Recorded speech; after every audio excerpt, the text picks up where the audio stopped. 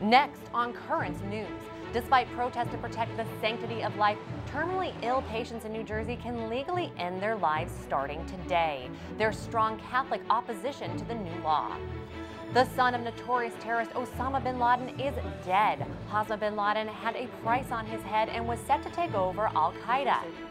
A little girl horribly burned and then abandoned is in the U.S. tonight for a life changing surgery, all thanks to a Christian missionary. Plus, the life of a priest changed when he decided to get in shape. Now he's preaching about fitness and faith. The news starts right now.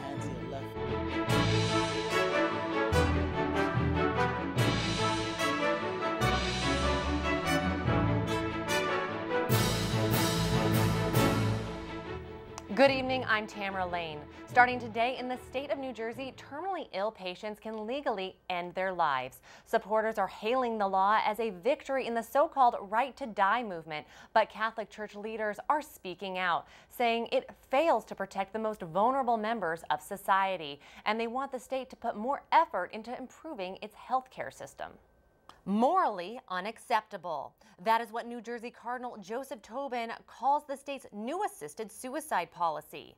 The Medical Aid in Dying for the Terminally Ill Act went into effect today, allowing terminal adult patients to legally get medical help to end their lives. The new law, a direct contradiction to the Catholic Church fundamental teachings on the sanctity of all human life and Catholic leaders are speaking out. Cardinal Tobin explaining that suicide should not be a viable option with today's medical advancements. Dying patients who request euthanasia should receive loving care, psychological and spiritual support, and appropriate remedies for pain and other symptoms so they can live with dignity until the time of natural death. New Jersey is the seventh state in the U.S. to adopt the deadly policy. On the day the bill was signed, New Jersey Governor Phil Murphy said the legislation allows terminal patients to make end of life choices for themselves. Many fear the laws will be abused, with protests popping up around the nation in states that have adopted the policy. Bishop James Checchio of Metuchen believes this law could particularly hurt the elderly. With this new law, the elderly could feel undue pressure to view this as an option to prevent being a burden to others, and young people will begin to think that people can and should be disposable. At least 19 other states are considering physician assisted suicide bills. Under orders from America's bishops, Catholic hospitals and healthcare facilities are barred from having anything to do with assisted suicide. Catholics in California are mobilizing tonight to defeat a bill requiring some state colleges to provide medications for abortion. San Francisco Archbishop Salvatore Cordileone, seen here in a pro-life pilgrimage, is calling for the proposed law a dangerous and unprecedented Awaiting final approval, the measure would force public colleges and universities to provide drugs that induce abortions in pregnant women. Archbishop Cordileone is urging a novena to Our Lady of Guadalupe for her intercession to halt the bill. He also wants Catholics to lobby lawmakers.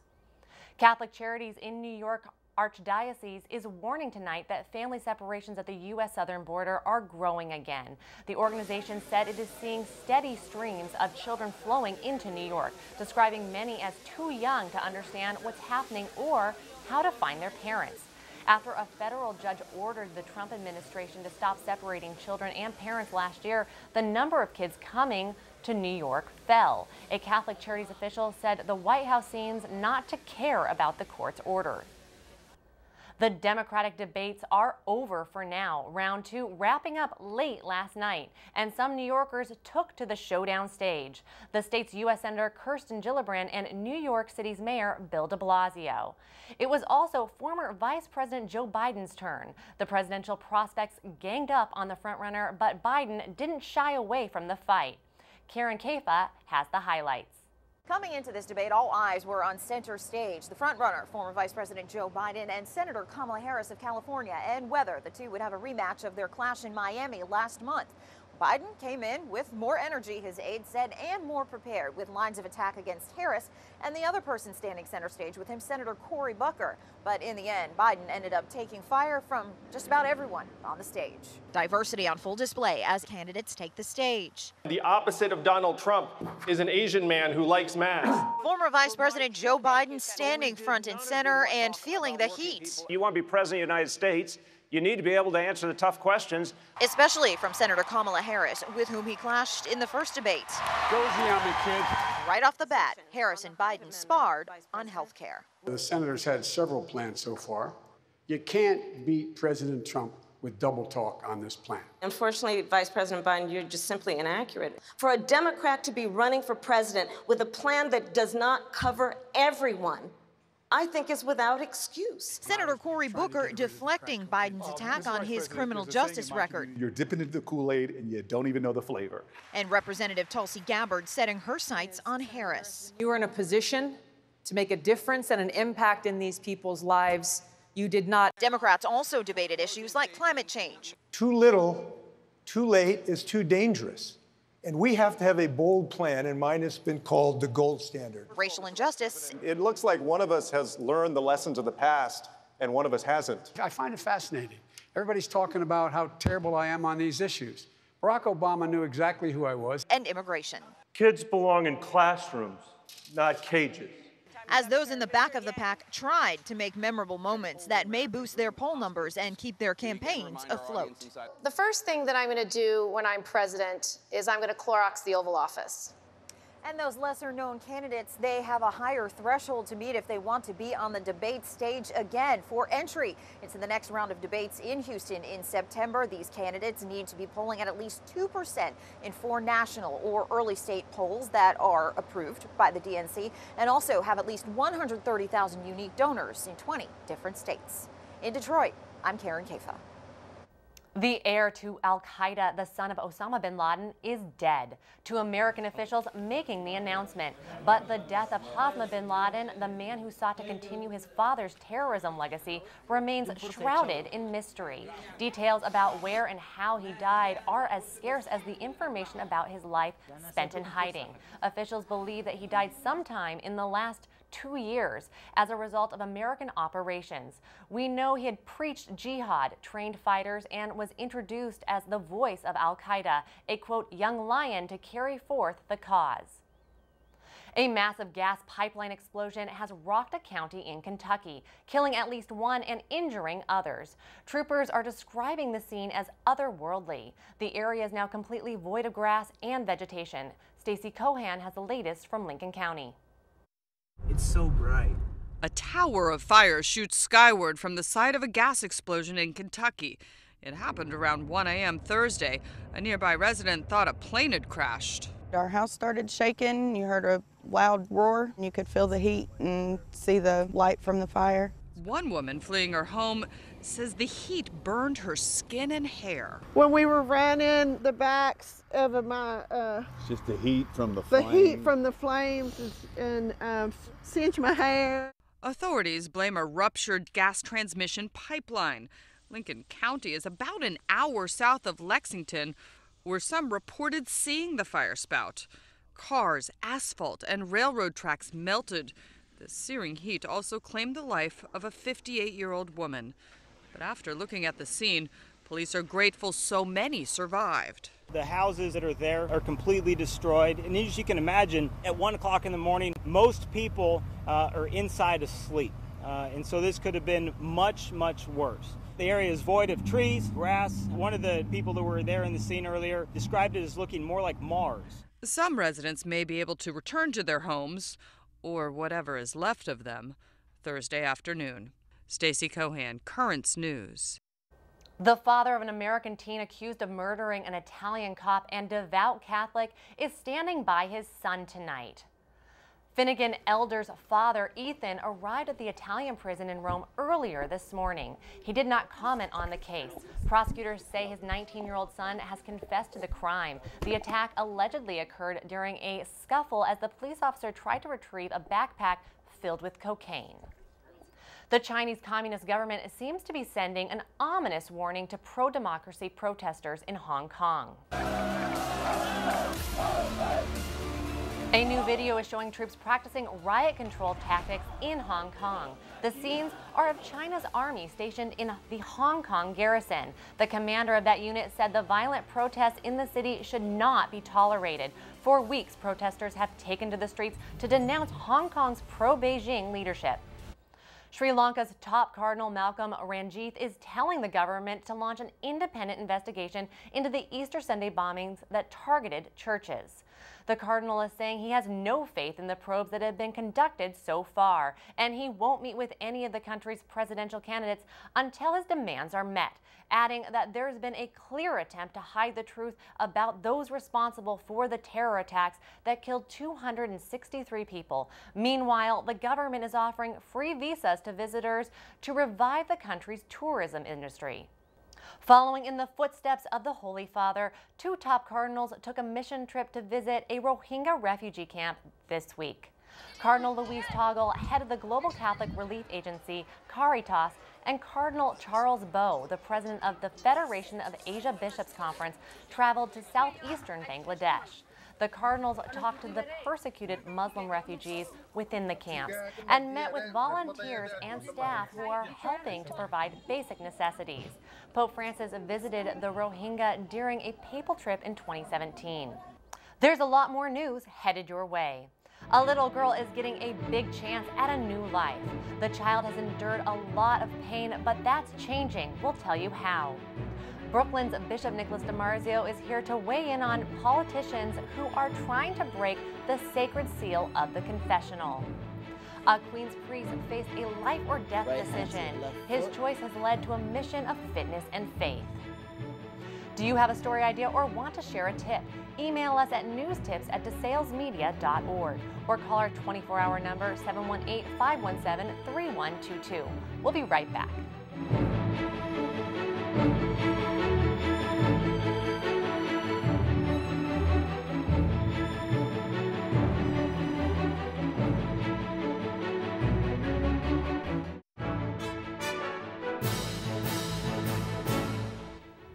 Police are hunting at this hour for whoever vandalized a Catholic church in California. The word rape spray painted on several parts of St. Francis of Assisi in Bakersfield. I pray for these people who did this evil thing. That's Annie Aguilar, a St. Francis of Assisi parishioner. The paint covered the church's front doors, staircase, and bulletin board, and a trash can was set on fire. The crimes coming just days after the Bakersfield Police Department closed their investigation of sexual misconduct allegations against Monsignor Craig Harrison without bringing any charges against the priest. A California bill that would have required priests to violate the sacred seal of the confessional has been pulled by its sponsor after a state Senate committee raised First Amendment concerns. The attack on the sacrament is a big concern for Brooklyn's Bishop Nicholas DiMarzio. He talks about that with Ed Wilkinson. Ed? Thank you. We're going to talk today to Bishop DiMarzio about the recent controversy over the seal of confession. And Bishop, in some states they were trying to do away with the seal of confession, especially when it comes to uh, crimes of sexual abuse. If they, we would, they, California was trying to make a law that they've, they've pulled back on now, but uh, if a priest had heard about abuse in a confessional situation, they wanted them to report that to civil authorities. Where does the church stand on something like that? Well, obviously, the seal of confession is inviolate. I mean, you know, people have to risk their lives or, or uh, to, in order to protect it. And I think there's a big misunderstanding of what really happens in confession, or, and that people who are abused are going to confession and telling uh, the priest who they who they abused, uh, or uh, murderers are going to confession and telling the priest uh, that they killed somebody and that these priests keep these secrets. I mean, it's a complete. Uh, they looked at the movies too much.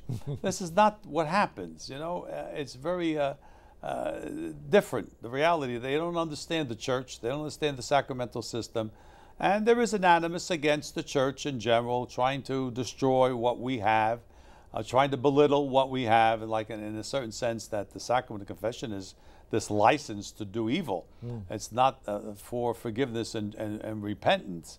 So that's the, the difficulty we're dealing with. Yeah, you mentioned this animus against the church. Is it because of the sexual abuse crisis, or is it something oh, that's uh, more deeply added, rooted? added to by the sexual abuse crisis. It's always been there in our society. I mean, The Catholic Church has not ever had a good, easy time in our culture, uh, right from the beginning. And uh, there was a time, maybe in the last uh, 60, 70 years, it wasn't too bad, but we're back now uh, in a clash, a culture clash with the culture which we are at in our society that Mhm. uh, we just don't fit in. Yeah. How do we begin to dialogue with society on things like this so that they can better appreciate who we are as a church? Well, again, every issue is a little different, but I then we have to state ourselves clearly that we have a right to uh, the public forum, as everybody else does, bringing our opinion. In the words of St. John Paul II, the church doesn't impose, it proposes. So we have to propose what we know to be the truth. Uh, people accept it, don't accept it, we, that's not our job to force people. Uh, but to propose what the truth is, is what our, our job is. Yeah, we constantly hear about the separation of church and state, and how do we get the idea across that we're not talking about a separation from religion, but really, uh, you know, uh, freedom for religion to operate within Well, us. that's exactly the point. They, they, it's, it's a freedom to, to be, to practice our faith, to have a conscience in a society that sometimes deny conscience to people. You have to do whatever the, the law says or whatever we say should be done or what's the better thing. Uh, that, that's the wrong uh, approach. We, we need to look at it much differently. Yeah, are we in danger of going down a slippery slope here? Because uh, the seal of confession is one thing. Are there other areas that we have to constantly be on guard against? There's no question about it. Uh, really, uh, the, the freedom that we do have can be eroded easily uh, by a society that's looking to uh, impose its values on us. We, we try not to impose on them, we just stand by our values. At the same time, even our enunciation of them, they think is an imposition. So uh, at the same time, they're doing this all the time. Mhm. So this is the misunderstanding. Yeah, we, we, we don't seem to have many friends in the legislature these days. A lot of the things that are going on uh, really seem to be anti church. Is there any hope for creating a better dialogue with those who are elected to office? Well, hope is what we are as Christians. We're hopeful people. We have to try. We have to dialogue. We have to uh, to get involved with people, so that they understand our position. That's our job. Good, Bishop. Thanks so much for being with us today. And now we're going to throw it back to the news desk. Thank you, Ed and Bishop DiMarzio, for working so hard to protect the church. Burned and abandoned at the age of two, Elvina Kolevi has seen a lot of suffering in her young life. But now the little girl from the other side of the world has new hope thanks to the kindness of a Christian missionary. Tom Abrams has the story on the first steps of a new start. Have been implemented to ensure Every day at Bush Intercontinental Airport, between 100 and 120,000 people fly in and out of the country's fourth largest city and home to the world's biggest medical center. This is the best spot, believe me. On this last day of July, one of those passengers Oh, they're coming there. was taking the first steps in a journey that will change her life. Oh my God, they're here. Elvina Kolevi, four years old, burned in an open flame at age two and abandoned because of it. From a primitive village in Papua New Guinea, but coming home to people who love her. Welcome. Cletus Stillman is a Christian missionary who found Elvina. You cannot ignore the pain, especially in a place like Papua. It's very remote. And for more than a year and a half has been working to get her treatment for her wounds. I knocked many doors all around the world asking for help. And the first person that answered my call was Miss Hashmat, the House of Charity. This is Miss Hashmat Effendi, a Muslim who runs a nonprofit healing home in Houston where Elvina will live for free for the next six months. Elvina will be the 275th child Effendi has helped. We will teach her how to take care of a house, how to clean, starting from personal hygiene, then grocery shopping. We will teach her English. We will teach her computers. It is very exciting. Texas Children's has donated the treatment, as many as three surgeries, which will transform Elvina. Still, it was expensive to bring her here. Dina Simmons came here from Arizona for Elvina's arrival and is leading the slow fundraising effort meant to pay for Elvina's flight, that of her caregiver Kuto, and for another child still awaiting her chance. But we're excited for this life-changing thing that Elvina is going to get the, the help that she needs. First steps are often the most important. They are the most critical. Elvina, half a world away from the only place she's ever lived, is taking her first steps for a second time. Over $7,500 have been raised to help little Elvina. We wish her all the luck in the world. Still to come on Currents News, how a priest's wake-up call is producing a union of faith and fitness in Woodside, Queens, and why thousands of scouts are coming to see the Pope. And the tablet has a brand new page called Our Diocesan Family, where you can share your pictures of recent baptisms, Holy Communions, confirmations, marriage, all the joyous sacraments. For more details and to submit your photos, go to thetablet.org slash Our Diocesan Family. Your picture may be published in an upcoming issue of the newspaper. We'll be right back.